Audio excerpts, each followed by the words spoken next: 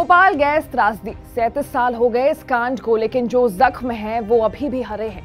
जो दर्द है, वो आज भी ताज़ा है। आज से सैंतीस साल पहले जब पूरी दुनिया चैन की नींद सो रही थी, तब किसी ने सोचा भी नहीं था कि भोपाल के आबो हवा में जहर घुल रहा है। साल उन्नीस सौ चौरासी दिनांक दो महीना दिसंबर का। उस रात को आज भी याद करो तो आँखें जो है, वो नम हो जाती हैं। वो सारी तस्वीरें आँखों के सामने आ जाती हैं। इस वीडियो में हम आपको उस शख्स के बारे में बताएँगे जिसके ऊपर इस पूरे कांड का आरोप है। उससे संबंधित कुछ ऐसे किस्से बताएँगे जिसको सुनने के बाद आपके भी कान खड़े हो जाएँगे। उस रात भोपाल की जनता अपने आँखों में कल के सपने लिए सोई थी, लेकिन किसे पता था कि वो कल कभी आएगा ही नहीं। उस रात यूनियन कार्बाइड फैक्ट्री से लीक हो रहा था मिथाइल आइसोसाइनेट गैस। ये एक ऐसा गैस है जो आपके फेफड़ों में से ऑक्सीजन को बाहर निकाल देता है और धीरे धीरे करके आप अपने जान से हाथ धो बैठते हैं। लेकिन बड़ा सवाल यहाँ ये है कि आखिर ये हुआ कैसे और किसने किया? किसने भोपाल को मरघट बना दिया? तो बॉस, उसका नाम है वॉरेन एंडरसन, जो कि यूनियन कार्बाइड फैक्ट्री का मालिक था। और गैस वॉट हमारे पूर्व पीएम राजीव गांधी के काफ़ी अच्छे, करीबी दोस्त हुआ करते थे वो। जब ये रिसाव हो रहा था, तब प्रशासन जो है, वो भोपाल की जनता को छोड़ करके मालिक साहब को बचाने में लग गई थी।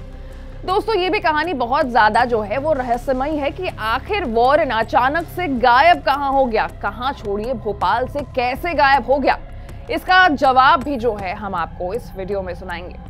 दोस्तों, जानकारी के अनुसार लोकसभा में एक चर्चे के दौरान पूर्व विदेश मंत्री सुषमा स्वराज ने विपक्ष के सवालों के जवाब में भोपाल गैस कांड के मुख्य आरोपी वॉरेन को भारत से बाहर भेजने में तत्कालीन सरकार और राजीव गांधी के हाथ होने की बात कही थी और कांग्रेस पर करारा हमला किया था। और कहा जाता है कि वॉरेन क्योंकि राजीव गांधी के बेस्ट फ्रेंड्स में से एक थे तो उसी का फ़ायदा उठाते हुए उन्होंने भारत को छोड़ दिया और कभी फिर भारत वापस लौट करके ही नहीं आए। अब इस पूरे मामले को समझने के लिए आपको थोड़ी सी क्रोनोलॉजी जाननी होगी। हमारे रिपोर्ट्स के मुताबिक 3 दिसंबर उन्नीस सौ चौरासी की रात भोपाल में यूनियन कार्बाइड कंपनी से जहरीली गैस का रिसाव हुआ और करीब पंद्रह हज़ार लोगों की मौत हुई। यूनियन कार्बाइड और इसके सीईओ वॉरेन एंडरसन के खिलाफ लोगों में काफ़ी ज़्यादा गुस्सा था और 3 दिसंबर की शाम में ही हनुमानगंज पुलिस थाने में उनके खिलाफ केस दर्ज हो गया। डॉन कर्जमैन की बुक द किलिंग विंड के मुताबिक एंडरसन अपने कुछ सहयोगियों के साथ 7 दिसंबर की सुबह साढ़े नौ बजे इंडियन एयरलाइंस के विमान से भोपाल पहुँचे। एयरपोर्ट पर तत्कालीन एसपी स्वराजपुरी और डीएम मोती सिंह ने उन्हें रिसीव किया। फिर उसी दिन सुबह करीब 11 बजे भोपाल के एसपी और डीएम वॉरेन को एक सफ़ेद अम्बेसडर कार में यूनियन कार्बाइड के रेस्ट हाउस ले गए और वहीं से हिरासत में लिए जाने की जानकारी दी गई। दोपहर में सीएम अर्जुन सिंह मध्य प्रदेश में एक रैली को संबोधित कर रहे थे। तब एक फ़ोन आया और एंडरसन को तत्काल रिहा करने के आदेश दिए गए। दोपहर साढ़े तीन बजे एंडरसन को भोपाल के एसपी ने बताया कि सरकार ने आपको दिल्ली भेजने के लिए एक विशेष व्यवस्था की है।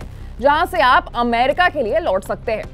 उसके बाद पच्चीस हज़ार रुपए का बॉन्ड और कुछ ज़रूरी कागजों पर साइन करने के बाद एंडरसन तत्कालीन मुख्यमंत्री अर्जुन सिंह और राजीव गांधी की मदद से दिल्ली फिर अमेरिका के लिए उड़ गए। तत्कालीन एसपी स्वराजपुरी उसे छोड़ने के लिए भी गए थे। बॉन्ड्स में एंडरसन के ट्रायल के दौरान कोर्ट में आने की बात कही गई थी, लेकिन वो भारत ही नहीं लौटे। और 9 फरवरी उन्नीस सौ नवासी को सीजीएम कोर्ट ने एंडरसन के खिलाफ गैर जमानती वारंट जारी कर दिया। उसे 1 फरवरी उन्नीस सौ बानवे को भगोड़ा भी घोषित कर दिया गया। उनतीस सितंबर 2014 को फ्लोरिडा में एक नर्सिंग होम में एंडरसन की मौत की खबर आई, जिसका पता हमें एक महीने बाद चला। एंडरसन की रिहाई और दिल्ली के लिए विशेष विमान उपलब्ध कराने की जाँच के लिए 2010 में एक सदस्यीय जस्टिस एस एल कोचर आयोग का गठन किया गया। आयोग के सामने तत्कालीन एसपी स्वराजपुरी ने कहा कि उन्हें एंडरसन की गिरफ्तारी के लिए लिखित नहीं, बल्कि मौखिक तौर पर आदेश दिए गए थे और उनको ये आदेश जो है वो उनके वायरलेस सेट पर मिला था, जिसके कारण उन्होंने एंडरसन को छोड़ दिया और अमेरिका उड़ जाने के लिए परमिशन दे दी। एंडरसन कभी वापस लौट कर नहीं आए, उनकी बस खबर आई, लेकिन जाते जाते एंडरसन ने बहुत बड़ा हंगामा यहाँ पर खड़ा कर दिया। करीब पंद्रह हज़ार लोग ऐसे थे जिन्होंने इस भोपाल गैस त्रासदी में अपनी जो जान है वो गवा दी और आप विश्वास नहीं करेंगे, लेकिन भोपाल के आबो हवा में, अभी भी वो जहर कायम है। कुछ जनरेशन ऐसे भी हैं जिनके जो बच्चे हो रहे हैं, वो किसी रूप से चैलेंज हैं, विकलांग पैदा हो रहे हैं। ऐसे ही एडवेंचरस और इंटरेस्टिंग खबरों के लिए आपको कहीं और जाने की ज़रूरत नहीं है, बल्कि आपको एबीपी अनकट को सब्सक्राइब करना होगा और हमारे चैनल को रेगुलरली देखना होगा।